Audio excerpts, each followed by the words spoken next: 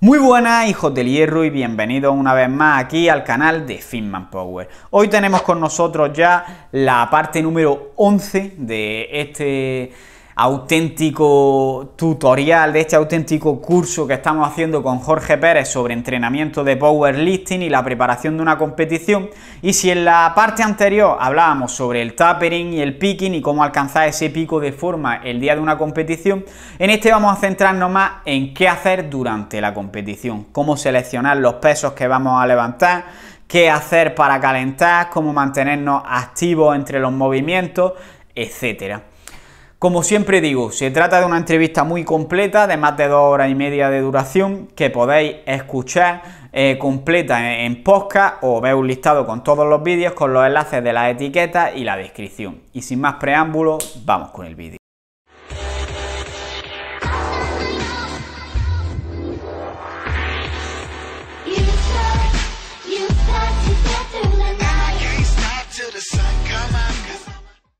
A la hora de seleccionar los pesos, los intentos? Vale, pues para la selección de intentos tenemos en cuenta que tenemos tres intentos. Primero utilizaría, o sea, utilizar una como regla de oro o regla de andar por casa. Primer intento es el, último calentamiento. Y ya está, o sea, no hay que abrir pesado. Eso es un error, considero que es un error, a ver, no, no estoy en la posesión, posesión de la verdad, pero considero que es un error el abrir excesivamente pesado.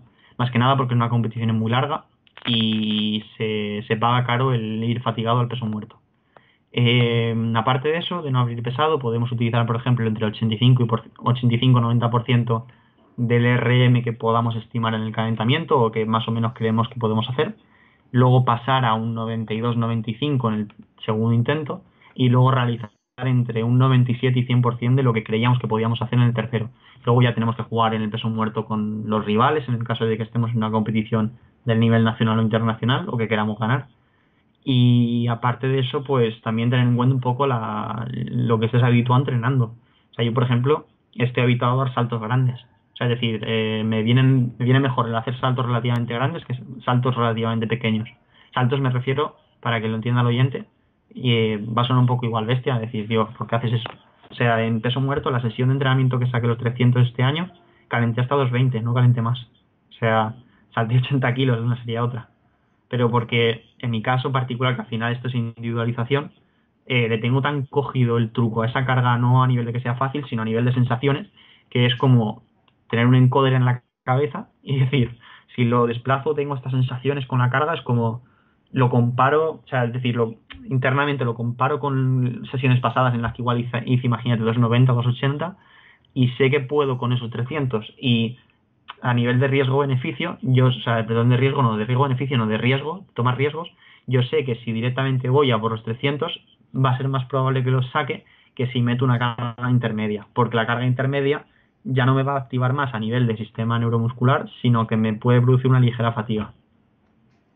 Más o menos eso vengo a decir, el hecho de que elija los saltos en función de esa relación entre potenciación nerviosa y fatiga. Claro. Y ¿recomendaría intentar un récord personal en la competición o un peso en el último que ya hayas levantado? o sea, mi lado emocional te dice que un récord personal.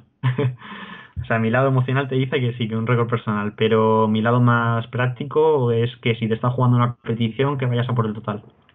O sea, digamos que me fijaría en lo que te estés jugando y lo que priorizas si priorizas en este caso tu rendimiento por encima del de o sea, si tienes una meta en este caso de, tarea o de rendimiento propio, pues vas yo iría por el récord. Joder, es súper bonito hacer un récord personal en competición, pero si te estás jugando un campeonato de España o una medalla en un, un internacional, yo no iría por un récord personal. O sea, iría por los kilos que te hagan hacer el total de kilos levantados que te den la medalla, o por otra parte, el meter lo suficiente para ganar al siguiente.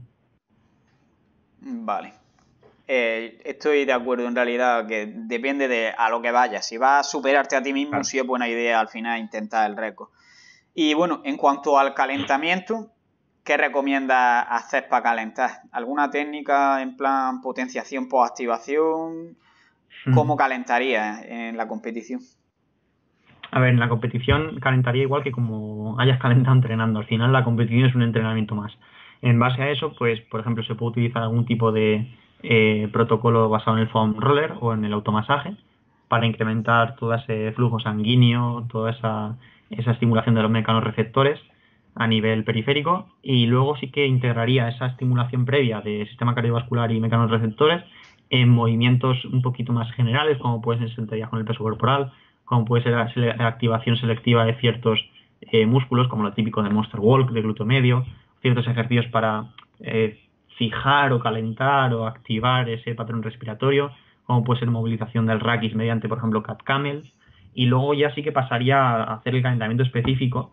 Bueno, antes de todo esto que te he dicho, trataría de haber estado activo durante 5 o 10 minutos andando, moviéndome, para incrementar esa, no solo las pulsaciones, sino en general la activación psicofisiológica, de estar más activo a nivel cognitivo, de sentirte un poquito más caliente en general. Y luego, aparte de eso, sí que ya entraría con la barra, haría un par de series. Yo, por ejemplo, te pongo el ejemplo de lo que hago, aparte de eso que ya te he dicho, es de forma específica, hago unas tres, hago tres series de cinco repeticiones con la barra sola en cada ejercicio, menos en peso muerto que ya empiezo con 60. Y luego, pues, hago una, una serie, una repetición con esa carga. O sea, por ejemplo, tres series de cinco en peso muerto con 60, ¿no? Luego una repetición solo con eso. Y ya luego subo de, eh, voy haciendo dos saltos de una repetición en una repetición. Hay otros entrenadores que optan en este caso por hacer un mayor número de repeticiones en cada aproximación.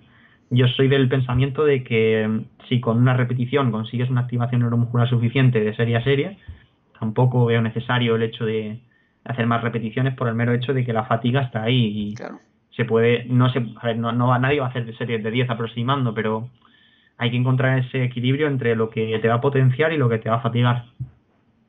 Y ya pues eso, ten en cuenta unas tres o más bien cuatro o seis series de aproximación, sin tener en cuenta la, primera, y haría un total de cinco o seis series, sí, eh, de aproximación. Vale, resumiéndolo bastante, Foam Rollen, luego movimientos, digamos, más genéricos y específicos de activación, como puede ser sentadillas con tu cuerpo, eh, el Monster Walk, o por ejemplo, andar. Yo, por ejemplo, siempre cuando estoy calentando en press banca, por ejemplo, me ve andando, dando vueltas alrededor del banco, también para que no me lo quiten, pero... Y, y, ya por último, hacer una serie de activación que a lo mejor empezarías con la barra y va aumentando progresivamente, o en peso muerto, obviamente por la altura, por eso empiezas por 60, imagino, ¿no? Por la altura de la barra. Claro. Vale, y... Movimiento que no se empieza en la fase excéntrica, sino la... Claro. Y bueno, en la... En el, lo que sería el tiempo entre series, ¿qué harías? Eh, es decir, entre cada intento o entre cada movimiento. Pues eso, eso es sencillo, en el sentido de que eh, en un entrenamiento normal me cronometraría para ver cuándo tarda en aproximar en cada movimiento, que suele ser el caso, por ejemplo, en mi caso tardo unos, no tardo mucho, 15-20 minutos desde que cojo la barra en aproximar, voy bastante rápido. Pero tendría en cuenta que son 15-20 minutos para justamente empezar a tocar la barra, 20 minutos son desde antes del primer intento. Es decir, para repetir lo mismo que venía haciendo entrenando y teniendo en cuenta eso, pues si descansas entrenando uno o dos minutos, pues haces uno o dos minutos. De forma general, descansaría un minuto o dos en las primeras series de aproximación, es decir, de la serie 1 a serie 3, por poner un ejemplo, y de la serie 4 a la 5 a la 6, que son más pesadas, descansaría 3, 4 minutos. Y de la, antes de la última, es decir, de la quinta a la sexta, si hace 6 series, descansaría es unos 5 minutos, más o menos. Y ya luego entre series, eh, cinco, soy de la idea de descansar 5 a 10 minutos en el principal. De cuanto más fresco estés, mejor. Pero me refiero, por ejemplo, tú tienes tres intentos de sentadilla ha, hecho un calentamiento antes del primer intento y te toca ya, y ha hecho ya el primer intento y va a hacer el segundo. En, entre medias de los dos, ¿qué harías? Ah. ¿Esperar, mantenerte...? Esa es otra. Eh, ¿Te acuerdas que antes has dicho lo de que para calentar andabas? Claro. Es decir, pues utilizaría lo de andar para, o sea, no hace falta que te pegues tampoco ahí el paseo de tu vida, o sea, del mundo, pero Ah, seguiría moviéndome o andando, no hace falta que haga sentadilla, ni, ni flexiones, ni nada, entre intentos. Es decir, no me quedaría sentado, a no ser que sea algo que lo haga siempre y que no te desactive, pero considero que el hecho de estar de pie es algo que te va a mantener un poco más activo que estar sentado. Y no haría nada más. Sencillo, ¿Dime? No, no, no, eh, nada, más. Ah, de forma física no, de forma psicológica sí, como es obvio, o sea, utilizaría eh, la visualización para mantener motivado y para mantener el grado de activación. Utilizaría, por ejemplo, la música, eh, a un tipo de mantra, si estás habituado a ello, como puede ser fuerza, fuerza, como puede ser incluso yo, un truco que utilizo para incrementar, o sea, hay una cosa que se llama la activación eh, psicofisiológica que hace referencia a cómo nos encontramos de tendentes o la tendencia que tenemos a hacer algo, ¿no? En plan de, yo ahora, pues, ahora por ejemplo podemos tener una activación baja, en el sentido que estamos relajados hablando, pero si voy a hacer una serie con mi RM, voy a tener el corazón desbordado, voy a sudar un poco, voy a estar con un foco atencional muy estrecho, muy cerrado, pues en ese sentido, eh, en relación a lo de antes, que es que al final está todo relacionado y, al final, eh, con el paso de los años se aprende, a integrar las cosas, em, en el sistema nervioso autónomo se puede modular, lo de antes, ¿no? Lo de eh, simpático parasimpático, se puede modular mediante el control respiratorio. Vale, ¿y por qué digo esto? Por el hecho de que si yo ahora mismo respiro de una forma muy pausada, por decirlo de alguna forma, en plan, seguramente pues indujo una respuesta de relajación, eh, tienda más hacia parasimpático, mi frecuencia cardíaca disminuya, pero si yo ahora empiezo a hiperventilar ligeramente en el sentido de... O sea, ya noto como mi organismo en general está, se está preparando para aplicar más fuerza, para, para luchar o huir, y realmente me interesa eso de cara a un levantamiento máximo, por lo que eh, podría utilizar la herramienta del control respiratorio si se ha practicado, si no, no lo haría eh, antes de entre intentos, sobre todo de cara al tercer intento, porque al final esa activación o ese pico de catecolaminas en sangre conlleva una depilación de sustratos energéticos que te puede fatigar de cara al peso muerto, así que igual no te interesa, es como quien haya visto Dragon Ball o One Piece, eh, cuando Goku se transforma, por ejemplo, en Super Saiyan, era el Super Saiyan, el Ultra Instinto, creo recordar, bueno, o, o Luffy en Gear Secondo o la segunda marcha, que son estados alterados de, no de conciencia, sino esa activación, digamos, que también te, hace pagar un precio. O sea, te hace pagar un precio a nivel energético y es el hecho de que te deja, o sea, no puedes estar continuamente a tope, dicho en lenguaje vulgar. Exacto, como que te tomas un café, estás muy activo y luego obviamente viene el bajón porque has gastado mucha energía sin darte cuenta, digamos. Y una vez acabas, por ejemplo, los tres movimientos, bueno, los tres intentos de sentadilla, va a pasar a hacer press banca. ¿En medio recomendaría hacer otra vez series de aproximación para press banca? O... Sí, sí, sí, en todo, correcto. O sea, la serie de aproximación, sí, en todo, en todo. En entre... Cada, entre cada movimiento haría más o menos un calentamiento parecido, pero enfocado como lo hagas en el entrenamiento. Y entre intentos haríamos esto de mantenerte de mantenerte activo andando, de pensar un poco en plan visualización, la respiración y este tipo de técnicas, ¿no? Sí, Vale. Incluso, ah, ya no quiero tampoco entrar mucho en eso, pero más allá también de esas técnicas a nivel cognitivo, también de tipo conductual, como puede ser el hecho de no cerrarse sobre uno mismo.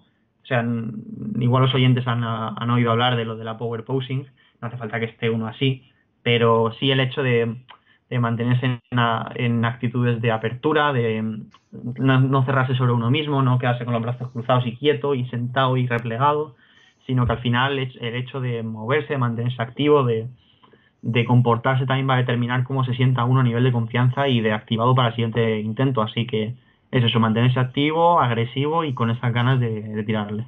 Claro, todo esto de, la respiración y la postura se resume en realidad en que nosotros muchas veces pensamos que nuestras emociones eh, son las que determinan, digamos, nuestros gestos. Por ejemplo, tienes una emoción positiva y sonríes, pero a veces simplemente que tú sonrías puede hacer que tengas una emoción positiva. Pues esto, aplicándolo a esto de la fuerza, va a ser lo mismo. Si tú haces cosas que sueles hacer cuando estás activado, del tipo, yo qué sé, mover las piernas, del tipo respirar más rápido, va a activarte.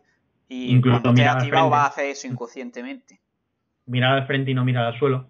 Claro. Es decir, eso es una tontería, ¿eh? lo de mirar al frente y mirar al suelo para ver, la, para ver qué grado de activación tiene el deportista.